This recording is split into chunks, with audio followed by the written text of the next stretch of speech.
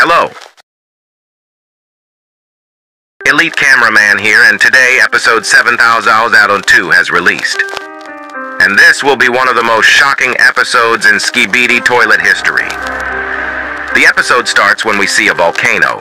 Then we see the return of the almighty upgraded shit toilet 4 septillion point 8,074,008 kilometers, 475 cents, 888,084. And after that,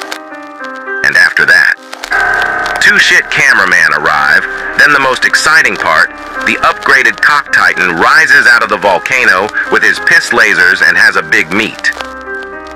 Then the scientist toilet 2 billion point 76 arrives, and the cock titan backshots the scientist toilet 2 billion point 76 non-stop until he dies and passes away. Then on top of the volcano, we see a glowing bright yellow light, which is the secret agent's evil twin, Agent Secret. Forget it. Anyway, Agent, the cock titan flies away to find the toilet base.